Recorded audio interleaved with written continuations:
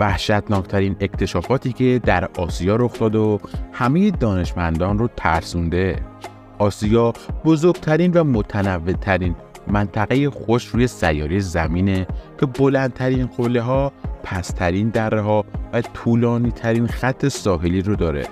اقیانوس آرام منجمد شمالی، اقیانوس های هند و دریای سرخ هم از شگفتی های این قاره است.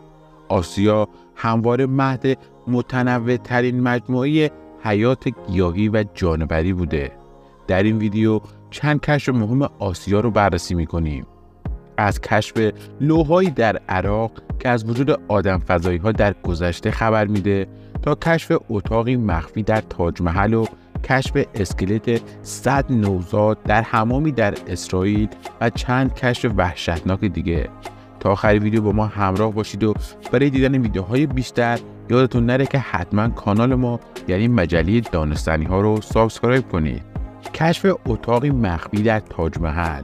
تاج محل در هند به دلیل معماری زیبای اسلامی و ریشه های رومانتیکش مشهوره که در اواسط قرن بیستم توسط امپراتور مغول شاه جهان به عنوان یک بنای یاد بود که نماد عشق عمیق اون به همسرش ممتاز محله ساخته شده.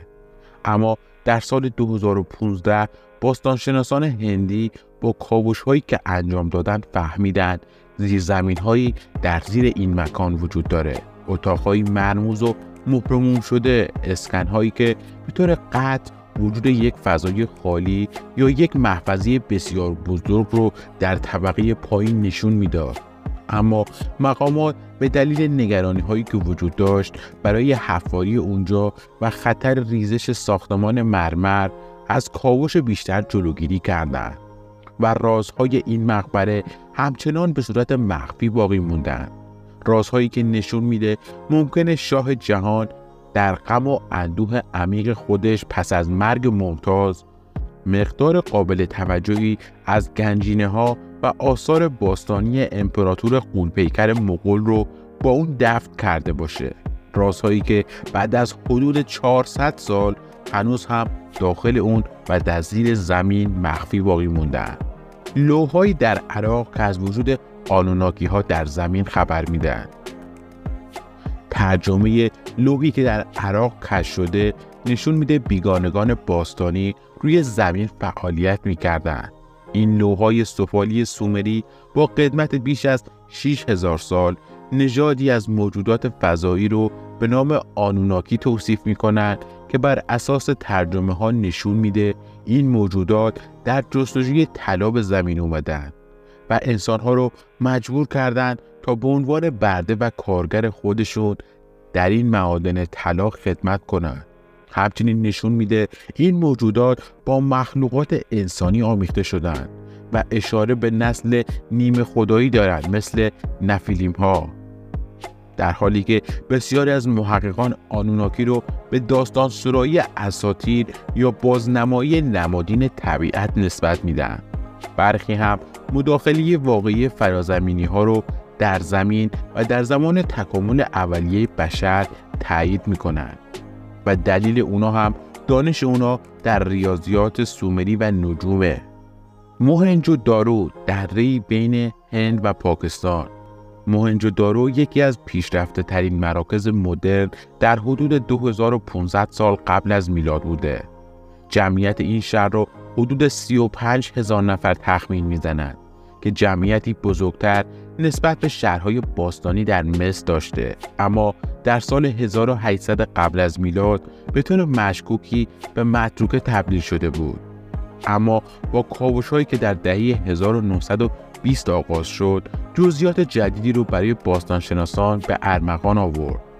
موهنجودارو در لغت به معنای تپه مردگان در سیدنیه. این نام شوم از خرابه های میاد که شامل صدها اسکلت انسانیه. شواهد نشون میده که شهر دچار یک سیل عظیم شده بوده. اسکلت ها نشون میدن که ضربه های شدیدی هم به جمجمه ها و اسکلت ها وارد شده بود که تئوری حمله به اونجا رو تقویت می‌کنه. اما بیشک بلایای طبیعی نقش مهمی رو در نابودی این مکان داشته. مومیایی آتش قبایل فیلیپینی هم مثل مصری ها اشراف خودشون رو مومیایی می‌کردن. اما به روشی جالب فیلیپین زمانی محل زندگی قبایل بالوی و کالانگویا بود که به روش پیچیده‌ای مردگان خودشون رو مومیایی می‌کردن اونا با استفاده از آتش اجساد خودشون رو مومیایی می‌کردن زمانی که فردی به مرگ نزدیک می‌شد از یک نوع نمک سمی استفاده می‌کردن تا بدن اون شخص رو از داخل به بیرون خوش کنند. اونا جسد رو برای هفته ها روی آتش کباب می‌کردن. پس از خوش شدن کامل اونا رو مومیایی می‌کردن و بعد هم با تناب میبستن تا در داخل تابوت های چوبی کوچک حک شده به شکل آهک فیلیپینی به نام کومانسی قرار بگیرند. این رسم و رسوم وقتی که استعمارگران اسپانیایی به اینجا اومدن و آداب و رسوم تدوین کاتولیک رو با خودشون آوردن از بین رفت این اجساد که در قار کابایا بودن فراموش شده بودند اما به تازگی بیش از 300 مومیایی آتشین در این قارها کشف شده که قدمت برخی از اونا به 1500 سال قبل برمیگرده. هنوز هم برخی خالکوبی هاشون روی پوست پخته شدهشون قابل مشاهده است. لوح گلی در عراق معروف به باغ وحش شیطان. در سال 2020 دانشمندان از ترجمه یک لوح استفالی خبر دادند که چندین دهه قبل در یک قار باستانی آشوری پیدا شده بود. این ترجمه بینش نادری رو در مورد بین النهرین و طب آمیانه در اون دوران رو ارائه میده. این لوح در عواسط قرن بیستم در یک قار زیرزمینی واقع در شمال عراق کشف شد. باستانشناسان فضاهای زیرزمین رو کاوش کردن و صدها لوح و سفال ارزشمند رو که برای هزاران سال بود دست نخورده باقی مونده بود کشف کردند. در میان لوحها لوحی بود که به باغ وحش شیطان معروفه و در اون یک موجود با بدنی انسانی با شاخ پنجه ها و دم پرنده و زبان مارمانند حک شده بود. دانشمندان متن باغ وحش رو به عنوان فرزند شرور خدای آنو توصیف می‌کنن بر اساس ترجمه این لو شیطان مانند روحی بوده که می‌تونسته انسان رو تصاحب کنه و باعث تشنج و رفتار غیرعادی در انسانها بشه مردم آشوری و بابولی در اون زمان بر این باور بودند که این شرایط ناشی از نیروهای اهریمنیه و نه بیماری های جسمی لو همچنین نشون میده که کشیش های اون زمان از روش جنگیری برای بهبود حال بیماران استفاده می‌کردند.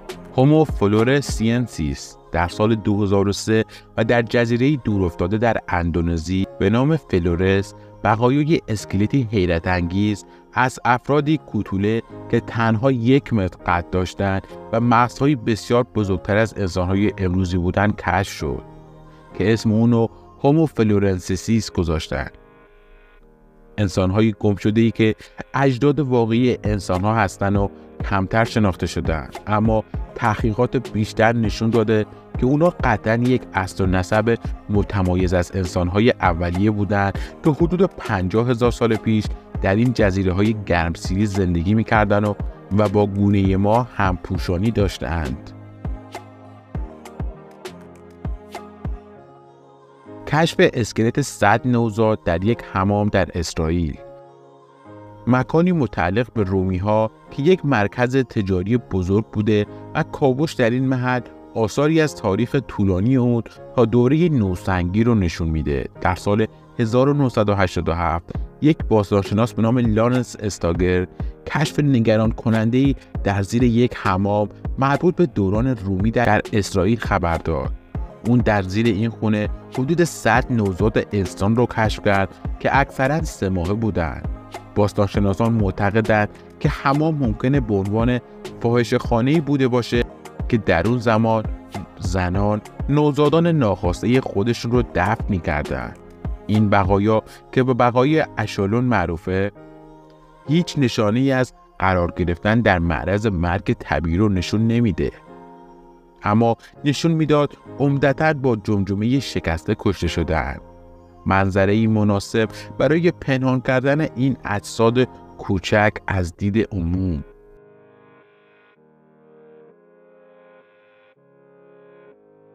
ارتش تراکوتا در چین. هزاران مجسمه سرامیکی به صورت کامل که اسبها و عرابه ها و سربازها رو به تصویر می‌کشه در نزدیکی مقبره اولین امپراتور چین شیهوانگ در نزدیکی شهر شیان کشف شد حدود 8000 سرباز چینی چهره سربازها با هنر ماهرانه ساخته شده بود و هر صورت به صورت منحصر به فردی ساخته شده بود تکه های کش شده از این چهره در سال 1974 تا حالا حدود 2000 جنگجوی سفالی از طریق حفاری های دقیق شناسایی شدند. حدود 40 هزار سر برونزی نیزه هم تالا کش شده. عرابه ها و سلاح های پیشرفته نشون میدن که ارتش چین در اون زمان چقدر پیشرفته بوده.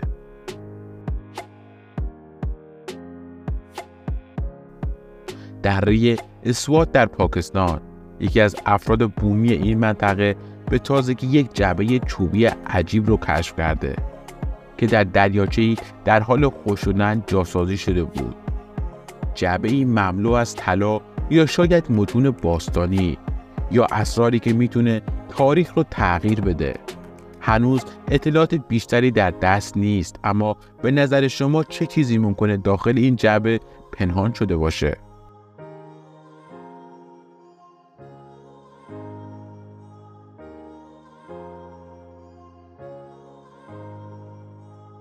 امیدوارم از دیدن این ویدیو لذت برده باشید و شما رو در ویدیو بعدی هم ببینیم. اگه هنوز کانال ما رو subscribe نکردید برای دیدن ویدیوهای بیشتر یادتون نره که حتما subscribe کنید و نظرتون رو درباره این ویدیو برامون کامنت کنید.